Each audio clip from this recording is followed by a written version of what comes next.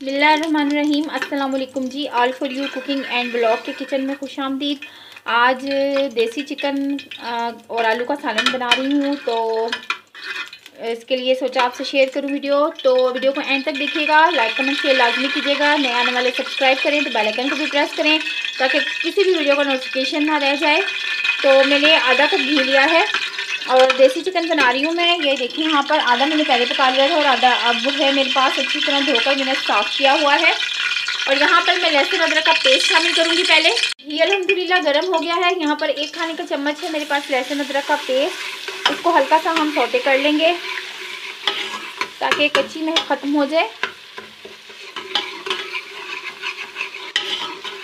अच्छा जी, यहाँ पर मैंने तकरीबन दो दस बड़े साइज़ की प्याज और हरी मिर्चें हैं। तीन चार मेरे पास, उसका मैंने पेस्ट बनाया हुआ है, जो कि मैं इसमें अब शामिल कर देती हूँ।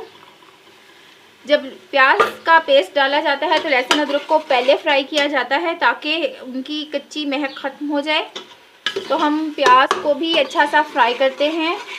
साथ साथ इंग्रेडिएंट्स आपको बताती रहूँगी। आपने साथ साथ रहना है एंड तक वीडियो को देखना है। और प्याज को हम करेंगे ब्राउन प्याज को फ्राई करते हुए तकरीबन पाँच मिनट हो गए हैं। अलहमदिल्ला अब इसका कलर भी चेंज हो गया है और प्याज काफ़ी हद तक हमारी हो गई है फ्राई अब हम इसमें जो ये हमारे पास चिकन है, ये डाल देते हैं। बिस्मिल्लाहिर्रहमानिर्रहीम। और इसको दो तीन मिनट तक फ्राई कर लेते हैं ताकि चिकन में मौजूद पानी भी खुश्क हो जाए।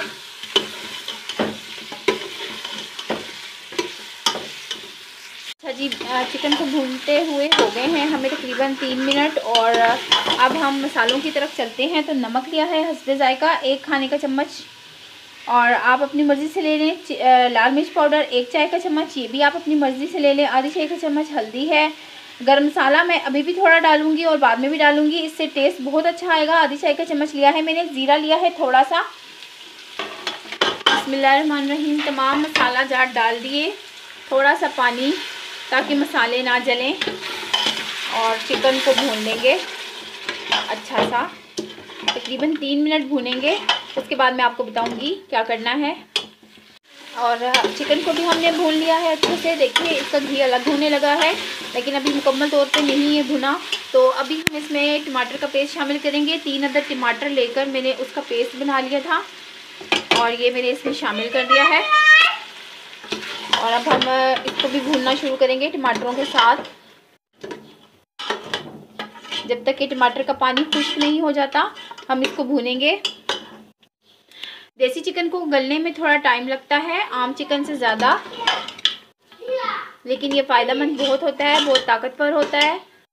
तकरीबन पाँच मिनट भुनाई की है, देखें कि टमाटरों का पानी खुश्क हो गया है और अब मैं इसमें थोड़ा सा पानी डालकर और कुकर का ढक्कन लगा दूँगी तकरीबन छः से सात मिनट के लिए ताकि चिकन अच्छा सा गल जाए। मैंने आपको बताया कि देसी चिकन जो है वो इतनी आराम से नहीं गलता। तो मैं इस पर तकरीबन एक गिलास पानी डालकर मैं इसको पकने के लिए रख रही हूँ। कुकर का ढक्कन लगा। अच्छा जी, तकरीबन छः से सात मिनट के बाद मैंने कुकर खोला है और अलहमदिल्ला चिकन जो है वो गल चुका है। अब ये देखें, इसकी हड्डियाँ इस तरह लग रही हैं जिस तरह आप पाए होते हैं, मटन पाए, इस तरह लग रहा है। तो अब हम इसमें आलू शामिल करेंगे। आलू मैंने तकरीबन एक पाव लिए हैं। धोकर मैंने लंबाई में काट लिए हैं छीलने के बाद और इसको मैंने पानी में रखा हुआ था ताकि इसका जो है कलर ख़राब ना हो जाए और चिकन जो था, तकरीबन तीन पाव है। और आलू आप अपनी मर्ज़ी से ले लें, जितने आप डालना चाहते हैं। मैंने एक पाव से ज़्यादा आलू लिए हैं थोड़े से। तो आलू मैंने इसमें शामिल कर दिए हैं। और यहाँ पर है एक चाय का चम्मच मेरे पास धनिया। ये मैंने भून के कूटा है। और यहाँ पर है कूटा हुआ ज़ीरा। और ये भी मैंने भून के कूटा कूटा है। आधा चाय का चम्मच है ये। और मैंने ये दोनों चीज़ें भी इसमें डाल दी हैं। और अब हम इसको मिक्स कर देंगे। और मैं इसमें पानी लगाऊँगी इस वक्त इतना, जितना कि मुझे ग्रेवी चाहिए और आलू भी गल जाएँ इसमें। तो आपने भी इतना ही पानी शामिल करना है। मैं तकरीबन एक गिलास पानी शामिल करूँगी, ताकि मैं अगर दोबारा कुकर का ढक्कन बंद करती हूँ तो पानी थोड़ा सा सूखेगा, क्योंकि आलू भी गलेंगे इसमें। तो और बाकी जो चाहिए होगा, वो मुझे ग्रेवी चाहिए होगी। तो मैं आपसे मिलती हूँ तकरीबन तीन मिनट बाद। तीन मिनट के लिए मैं कुकर का ढक्कन बंद कर रही हूँ, एक गिलास पानी डाल के। अच्छा जी, ये ले तीन मिनट के बाद जो है कुकर खोल लिया है और अल्हम्दुलिल्लाह आलू भी गल चुके हैं। बहुत ही ज़बरदस्त खुशबू आ रही है और अब हम इस पर गर्म मसाला छिड़क देंगे थोड़ा सा और नमक भी आप चेक कर सकते हैं। और गरम मसाला जो है वो मैं छिड़क रही हूँ इसके ऊपर और एक मिनट के लिए मैं इसका ढक्कन जो है वो बंद करूँगी ताकि खुशबू जो है इसके अंदर चली जाए। हरा धनिया भी छिड़क रही हूँ साथ में। और इसको एक मिनट के लिए ढक्कन रखूँगी और उसके बाद जो है मैं आपको इसकी फ़ाइनल लुक दिखाती हूँ। अल्हम्दुलिल्लाह जी, बहुत मज़ेदार हमारा आलू शोरबा जो है देसी मुर्ग का तैयार हुआ है। तो अगर आज की रेसिपी आपको पसंद आई हो तो प्लीज़ लाइक का बटन दबा दें, शेयर भी करें वीडियो को और वीडियो को एंड तक प्लीज़ देखा करें ताकि मेरा वॉच टाइम पूरा हो जाए। और इसके अलावा नए आने वाले सब्सक्राइब करें और बेलाइकन को भी प्रेस करें ताकि जब भी मैं वीडियो अपलोड करूँ तो नोटिफिकेशन आपको मिलता रहे। और अगली वीडियो तक के लिए इजाज़त दीजिए, अल्लाह हाफिज़।